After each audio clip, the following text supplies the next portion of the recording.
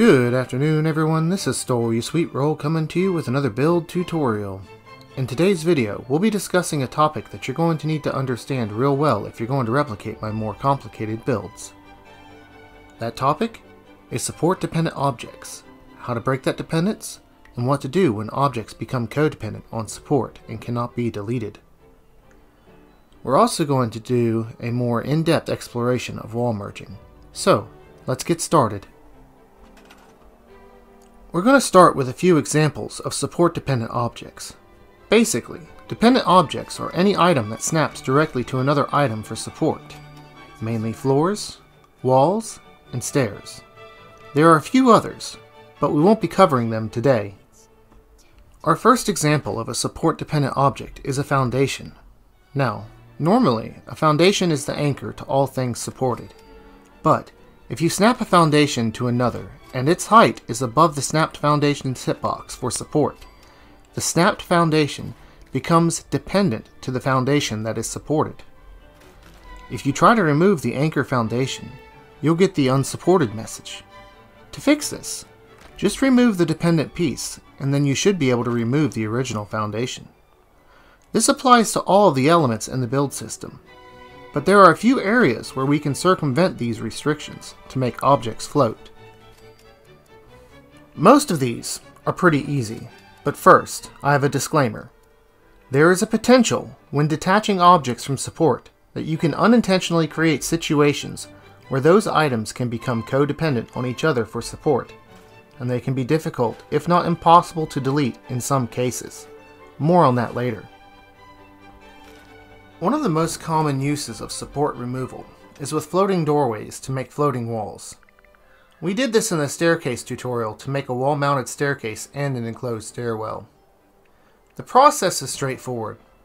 Build the doorway and remove the floor under it. However, this does not work with quarter upper floors if they're supporting the wall.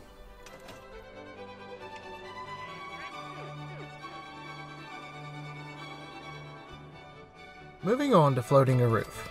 We've done this a few times before, but it directly requires either the glass building set or the log building set, as those sets allow you to cycle through most of the roof variants with the replace option.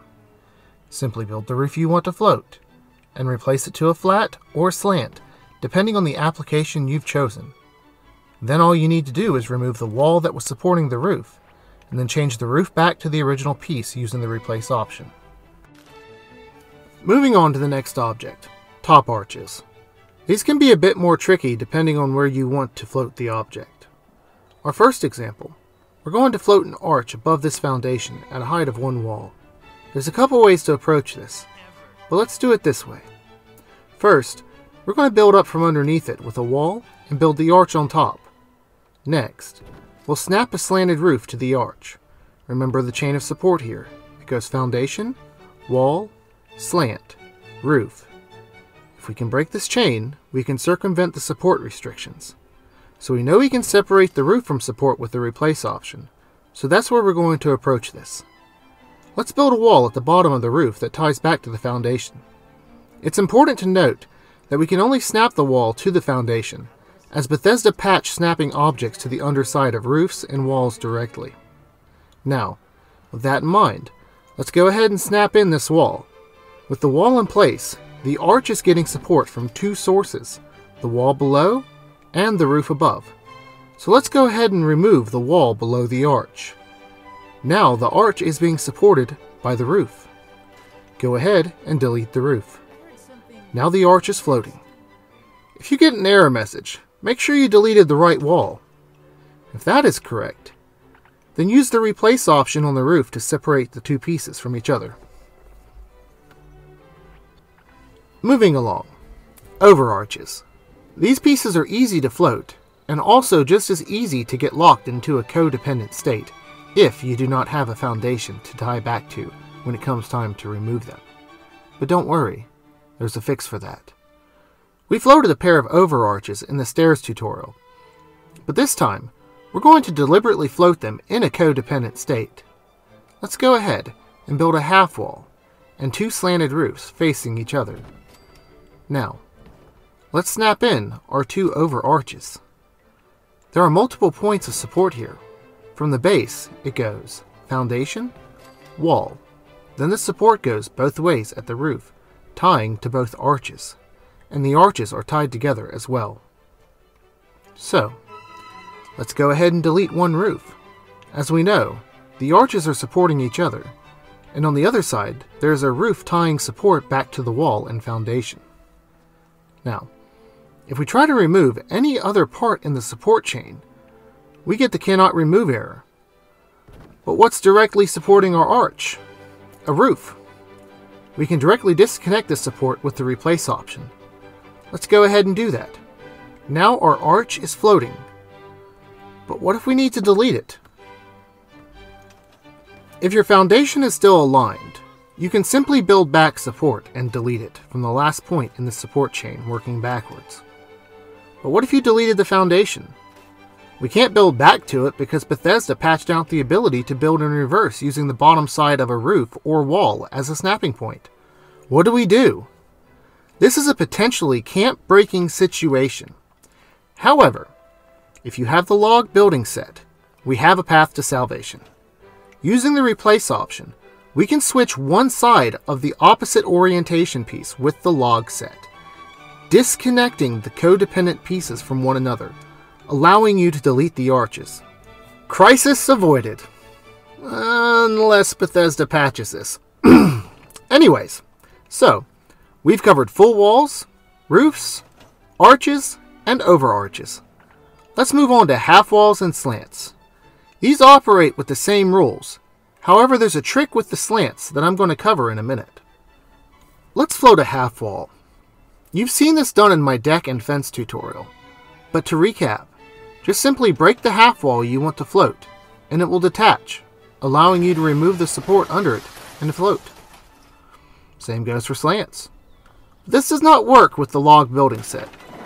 You have to build a different wall type, and once it's floating, you can replace to the log set after it's repaired.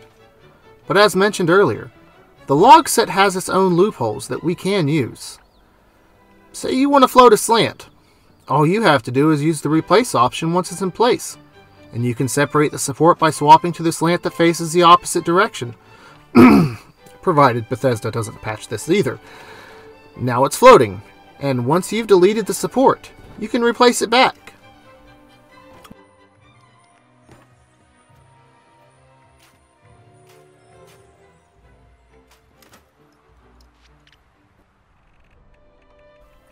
Lastly, I want to cover wall merging again, but show a few examples of the many different combinations that can be made using this technique.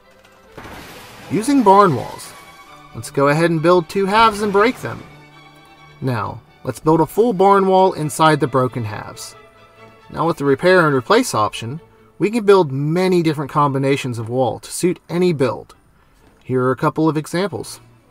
Don't be afraid to experiment with combining broken walls too. The possibilities really are endless.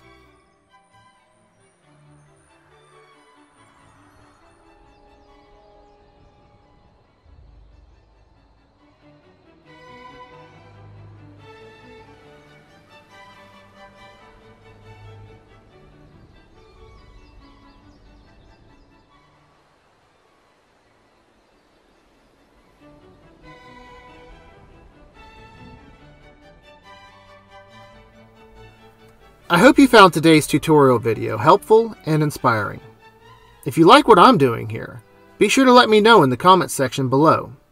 Also, like this video and subscribe if you haven't already so you don't miss future build videos and tutorials. Once again, I want to say thank you to all of you for helping my channel grow. So, until next time, this is StoleYaSweetroll, signing off. Have a great day and happy building.